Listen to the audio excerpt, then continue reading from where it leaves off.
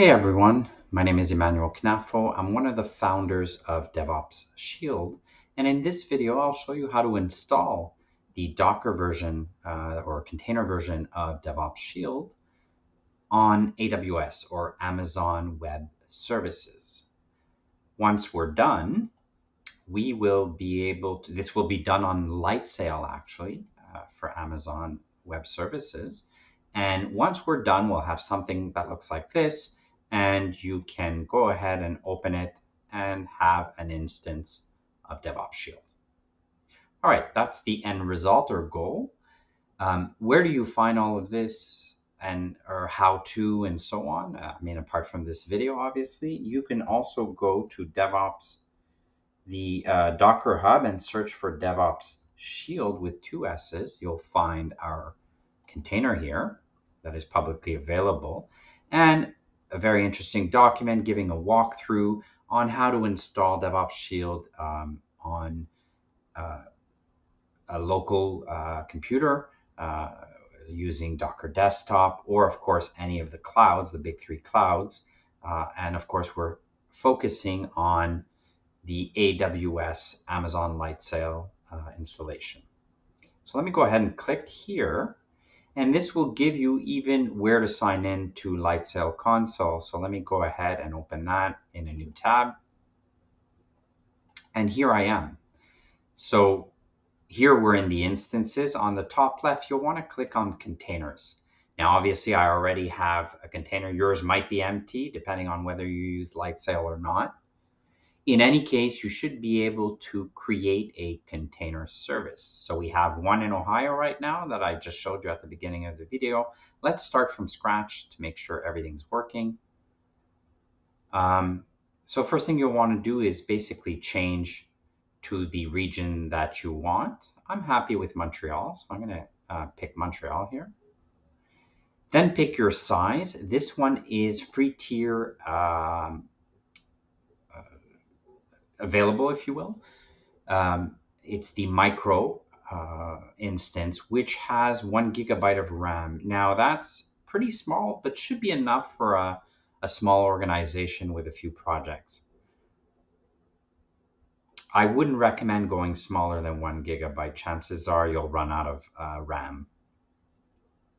So the next thing is to uh, set up a deployment. So let me go ahead and do that.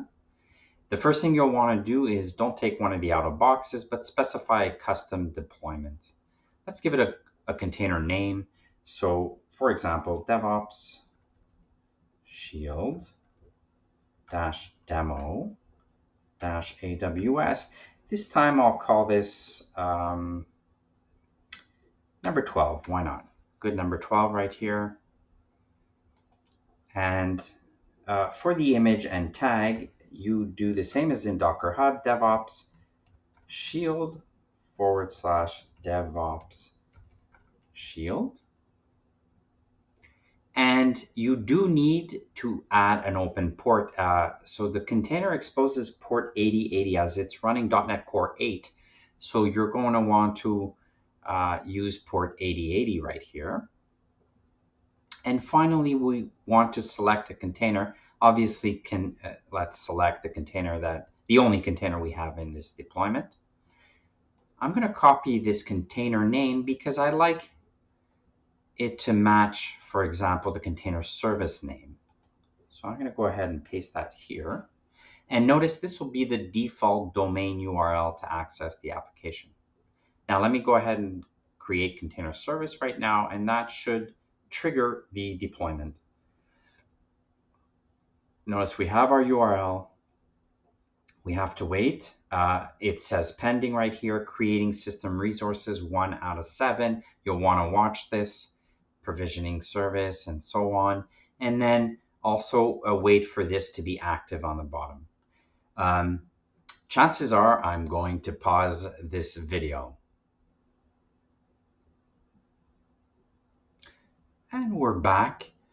Um, as you could see, it took a few minutes, uh, around three minutes, so maybe three to four minutes in all. Um, and we have status running right here as well as active on the bottom. So I can go ahead and browse by clicking on this, maybe open it in a new tab. And indeed, you see that we have deployed it. We have the same URL, DevOps Shield demo AWS 012 with a couple of random uh, letters and ending in amazonlightsail.com. It is through HTTPS. Of course, behind the scenes, it's routing back to port 8080. It should be the latest version, uh, 1.0.838 in this case. And you can go ahead and log in. Now, the first login, you will need to log in with DevOps Shield and DevOps Shield.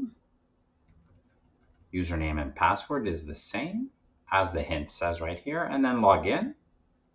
And of course, the first time uh, you will want to change the password. You can use the one suggested by Edge if you happened to use Edge.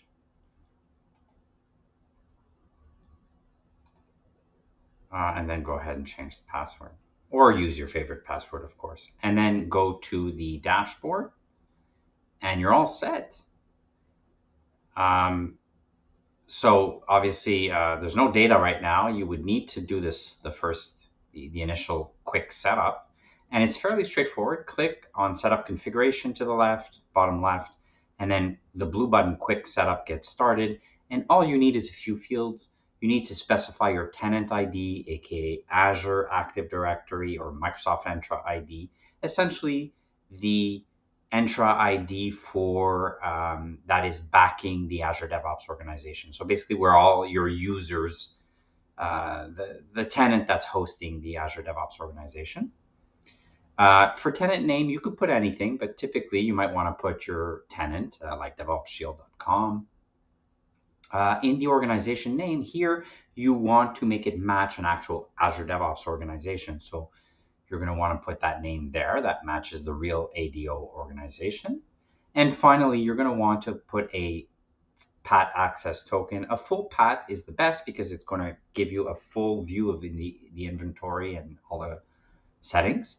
Uh, so that's what we recommend putting right here.